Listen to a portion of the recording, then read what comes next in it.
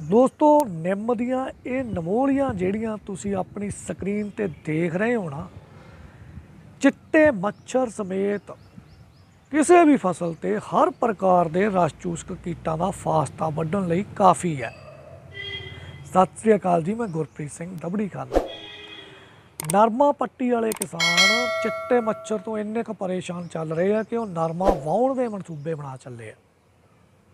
ਜੇਕਰ ਤੁਸੀਂ ਵੀ ਅਜਿਹਾ ਹੀ ਮਨਸੂਬਾ ਘੜੀ ਬੈਠੇ ਹੋ, ਤਾਂ ਥੋੜਾ ਰੁਕੋ। ਇਸ ਵੀਡੀਓ 'ਚ ਜਿਹੜੀ ਜਾਣਕਾਰੀ ਸਾਂਝੀ ਕੀਤੀ ਜਾ ਰਹੀ ਹੈ ਇਸ ਜਾਣਕਾਰੀ ਮੁਤਾਬਕ ਇਹ ਨਿੰਮ ਦਾ ਘੋਲ ਬਣਾ ਕੇ ਆਪਣੀ ਫਸਲ ਦੇ ਉੱਤੇ ਇਹਦੀ ਸਪਰੇਅ ਕਰੋ ਲੋੜ ਅਨੁਸਾਰ। ਤੇ ਉਸ ਤੋਂ ਬਾਅਦ ਵੀ ਜੇ ਤੁਹਾਨੂੰ ਲੱਗੇ ਕਿ ਨਰਮਾ ਵਾਏ ਬਿਨਾ ਕੋਈ ਚਾਰਾ ਨਹੀਂ, ਫਿਰ ਵਾਹ ਦਿਓ ਭਾਈ। ਵਾਉਣਾ ਤਾਂ ਤੁਸੀਂ ਉਂਝ ਵੀ ਹੈ, ਪਰ ਮੈਂ ਤੁਹਾਨੂੰ ਯਕੀਨ ਦਿਵਾਉਣਾ, ਜੇ ਇਹ ਘੋਲ ਬਣਾ ਕੇ ਤੁਸੀਂ ਫਸਲ ਦੇ ਉੱਤੇ ਛਿੜਕੋਗੇ, ਨਰਮਾ ਵਾਉਣ ਦੀ ਨੌਬਤ ਨਹੀਂ ਆਊਗੀ। ਸੋ ਕਰਨਾ ਕੀ ਆ? ਕਰਨਾ ਇਹ ਆ ਵੀ ਆਪਾਂ ਬਣਾਉਣਾ ਨਿੰਮ ਦਾ ਘੋਲ। ਤੇ ਨਿੰਮ ਦਾ ਘੋਲ ਬਣਾਉਣ ਲਈ ਚਾਹੀਦੀਆਂ ਆਪਾਂ ਨੂੰ ਨਿੰਮ ਦੀਆਂ ਨਮੋਲੀਆਂ। ਤੇ ਖੁਸ਼ੀ ਦੀ ਗੱਲ ਇਹ ਆ ਕਿ ਇਹਨਾਂ ਦਿਨਾਂ ਦੇ ਵਿੱਚ ਨਿੰਮਾਂ ਤੋਂ ਪੱਕੀਆਂ ਹੋਈਆਂ ਨਮੋਲੀਆਂ ਥੱਲੇ ਝੜਦੀਆਂ ਪਈਆਂ। ਉਹ ਨਮੋਲੀਆਂ ਵੱਧ ਤੋਂ ਵੱਧ ਸੰ- ਮਾਤਰਾ ਦੇ ਵਿੱਚ ਇਕੱਠੀਆਂ ਕਰ ਲਓ। ਜਿੰਨੀਆਂ ਹੁਣ ਕੰਮ ਆਈਆਂ, ਉਨੀਆਂ ਤੋਂ ਹੁਣ ਕੰਮ ਲੈ ਲਾਂਗੇ ਤੇ ਜਿਹੜੀਆਂ ਵੱਧ ਗਈਆਂ, ਉਹਨਾਂ ਤੋਂ ਅੱਗੇ ਕੰਮ ਲੈ ਲਾਂਗੇ। ਹੁਣ ਕਰਨਾ ਕੀ ਹੈ? ਪ੍ਰਤੀ ਏਕੜ 3 ਕਿਲੋ ਨਮੋਲੀਆਂ ਚੰਗੀ ਤਰ੍ਹਾਂ ਕੁੱਟ ਪੀ ਕੇ ਉਹਨਾਂ ਦੀ ਬੰਨ ਲੈਣੀ ਆ ਪੋਟਲੀ ਮਲ-ਮਲ ਦੇ ਕੱਪੜੇ 'ਚ। ਹੁਣ ਇਸ ਪੋਟਲੀ ਨੂੰ ਤੁਸੀਂ 48 ਘੰਟਿਆਂ ਲਈ 10 ਲੀਟਰ ਪਾਣੀ ਜਾਂ ਡੰਗਰਾਂ ਦੇ 10 ਲੀਟਰ ਪਿਸ਼ਾਬ ਜਾਂ 10 ਲੀਟਰ ਵੇਸਟ ਡੀਕੰਪੋਜ਼ਰ 'ਚ ਡਬੋ ਕੇ ਰੱਖ ਦੇਣਾ। 48 ਘੰਟਿਆਂ ਬਾਅਦ ਪੋਟਲੀ ਉੱਪਰ ਖਿੱਚ ਕੇ ਉਹਦਾ ਨਿਚੋੜ ਉਸੇ ਭਾਂਡੇ 'ਚ ਕੱਢ ਦੇਣਾ, ਜਿਹਦੇ ਵਿੱਚ ਇਹ ਦੋਨੇ ਚੀਜ਼ਾਂ ਆਪਾਂ ਪਾ ਕੇ ਰੱਖੀਆਂ ਸੀ। ਹੁਣ ਇਹ ਜਿਹੜਾ ਨਿਚੋੜ ਤੁਹਾਡੇ ਹੱਥ ਆਇਆ, ਇਹ ਹੈਗਾ ਬਾਈ ਨਿੰਮ ਦਾ ਘੋਲ। ਇਹਦੇ ਵਿੱਚ ਇੱਕ ਖਾਸ ਰਸਾਇਣ ਆ, ਜਿਹੜਾ ਕਿ ਨਿੰਮ ਦੇ ਪੱਤਿਆਂ 'ਚ ਤੇ ਨਿੰਮ ਦੀਆਂ ਨਮੋਲੀਆਂ 'ਚ ਪਾਇਆ ਜਾਂਦਾ।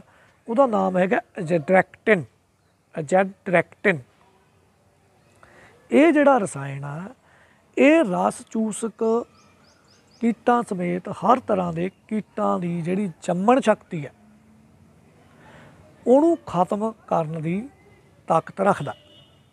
ਤੇ ਪੁਰਾਣੇ ਸਮਿਆਂ 'ਚ ਨਿੰਮ ਦੇ ਤੇਲ ਨੂੰ ਨਾ ਗਰਭ ਨਿਰੋਧਕ ਦੇ ਤੌਰ ਤੇ ਬਜ਼ੁਰਗ ਸਾਡੇ ਪੁਰਖੇ ਵਰਤਦੇ ਰਹੇ ਆ। ਸੋ ਐਜੈਡਰੈਕਟਨ ਨਾਮ ਦਾ ਜਿਹੜਾ ਰਸਾਇਣ ਆ, ਉਹ ਕੀਟਾਂ ਦੀ ਜੰਮਣ ਸ਼ਕਤੀ ਖਤਮ ਕਰਦਾ। ਆਂਡਿਆਂ ਦੇ ਉੱਤੇ ਜੇ ਉਹਦੀ ਸਪਰੇਅ ਹੋ ਜੇ ਤਾਂ ਆਂਡਿਆਂ ਦੇ ਵਿੱਚੋਂ ਬੱਚੇ ਬਾਹਰ ਆਉਣ ਦੀ ਸੰਭਾਵਨਾ ਨਾ ਦੇ ਬਰਾਬਰ ਰਹਿ ਜਾਂਦੀ ਹੈ। ਸੋ ਇਹਦਾ ਇਹ ਜਿਹੜਾ ਗੁਣ ਹੈ, ਇਸ ਗੁਣ ਕਰਕੇ ਜਦੋਂ ਤੁਸੀਂ ਇਹਦੀ ਸਪਰੇਅ ਕਰਤੀ ਫਸਲ ਦੇ ਉੱਤੇ, ਇਹ ਪੱਤਿਆਂ ਦੇ ਉੱਤੇ ਪਰਤ ਬਣ ਗਈ, ਫਲ ਦੇ ਉੱਤੇ ਪਰਤ ਬਣ ਗਈ, ਬੂਟੇ ਦੇ ਉੱਤੇ ਇਸ ਘੋਲ ਦੀ ਪਰਤ ਬਣ ਗਈ, ਜਿਹਦੇ ਵਿੱਚ ਕੀ ਹੈਗਾ? ਐਜੈਡੈਕਟਨ ਨਾਮ ਦਾ ਐਜੈਡਰੈਕਟਨ ਨਾਮ ਦਾ ਰਸਾਇਣ। ਹੁਣ ਜਿਹੜਾ ਵੀ ਕੀੜਾ ਪੱਤੇ ਨੂੰ ਖਾਊਗਾ, ਜਾਂ ਪੱਤੇ ਦਾ ਰਸ ਚੂਸੂਗਾ, ਜਾਂ ਫਲ ਨੂੰ ਖਾਊਗਾ, ਉਹਦੇ ਅੰਦਰ ਇਹ ਰਸਾਇਣ ਚਲਾ ਜਾਏਗਾ ਤੇ ਉਹਨੇ ਉਹਦੇ ਅੰਦਰ ਜਾ ਕੇ ਉਹਦੀ ਜੰਮਣ ਸ਼ਕਤੀ ਤੇ ਮਾਰੂ ਅਸਰ ਪਾਉਣਾ। ਉਹਦੀ ਜੰਮਣ ਸ਼ਕਤੀ ਖਤਮ ਕਰ ਦੇਣੀ ਹੈ।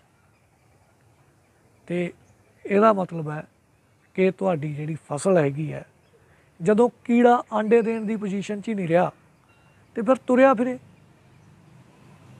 ਉਹ ਤੁਹਾਡੀ ਫਸਲ ਦਾ ਇੱਕ ਧੇਲੇ ਦਾ ਵੀ ਨੁਕਸਾਨ ਨਹੀਂ ਕਰੇਗਾ।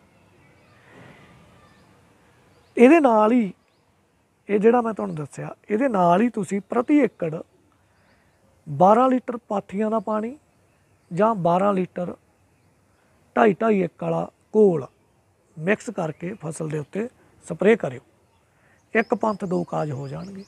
ਨਾਲੇ ਤਾਂ ਤੁਹਾਡੀ ਫਸਲ ਨੂੰ ਰਸ ਚੂਸਕ ਕੀੜਿਆਂ ਤੋਂ ਮੁਕਤੀ ਮਿਲ ਜੂ ਤੇ ਨਾਲ ਹੀ ਤੁਹਾਡੀ ਫਸਲ ਨੂੰ ਤਾਕਤ ਮਿਲੇਗੀ।